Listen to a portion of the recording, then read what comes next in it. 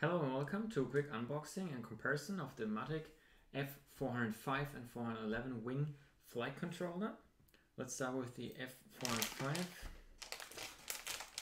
That's like the new older one. Already already have heard about this one. And the cool thing about it is that it has so many ports and it doesn't only have seven servo outputs it also does support up to six UARTs. It's like a lot. and it's super cool because you can use it as a PDB, as a flight controller, as the OSD. So it's pretty much all you need. Okay, you will have to add the GPS, but it has a SD card slot for black box logging. So it's pretty, pretty neat. And uh, I used to have the Omnibus F4 Pro, but it's a pain to get the extra servo ports if you have a like a mini Talon with multiple aileron servos and stuff like that. You need more servo ports, so that's when this comes in handy. And let's unbox this one really quick.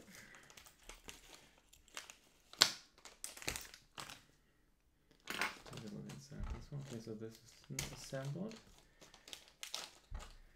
So you can already see this is a three piece board. This is going to be a two piece board, but basically it's, if you call this a three piece, then this is a one piece, uh, two piece, sorry. Let's check the screws. Okay, so it's a lot smaller. Sure you can see this. Let me refocus.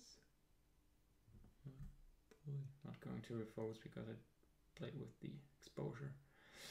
Um, yeah, you can see the mounting pattern pattern is different. This is 30 by 30, and I guess this is could be 20 by 20, but I kind of died. Oh, okay, so it's like 25 by 25. That's what I think. So that's diagonally.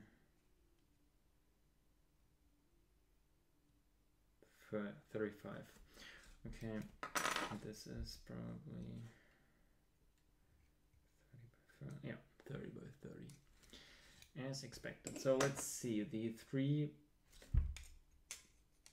stacks is 13.16 millimeter high. And if we put this one, I think this should go on the bottom because it's the same names on here. So let me quickly put one standoff in here and probably best to put another one in there as well. So we can measure the actual height if I use both pieces.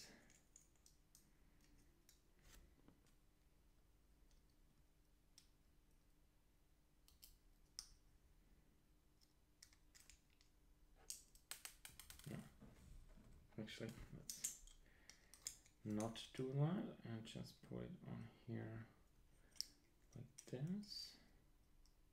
And measure it that way. So I will use the USB port because that's repeatable with the other one. So this is 12.92 millimeters and this is using the USB port 11.9 that's interesting is? Not sure. Different USB. Yeah. Cool. Interesting. Okay, so much for that. Yes, let's put some more screws on that. Oh, let's start with this. So 7.2 grams for that one, and let's put two more, and then we have two more screws, and then four, and then this and that. So that's 11.8 grams. And this is all in all 26.1. So this also has a bigger um, processor, so it has more RAM. So I'm not sure. I think iNav doesn't need that much, but ArduPilot could require you using this one. At least on an F4. So I'm not sure what else I should tell you. Width is interesting here because it's not the norm.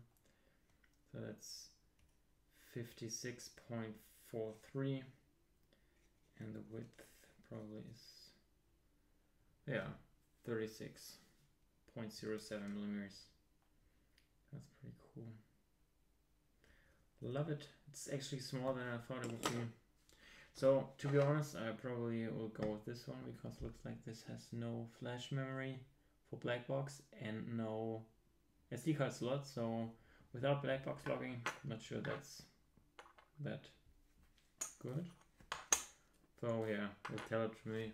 You'll probably. I'm going to store it on the um, yeah transmitter on the Taranis. But yeah, sorry for talking longer than I should, but hope this helps. Thanks for watching and see you next one.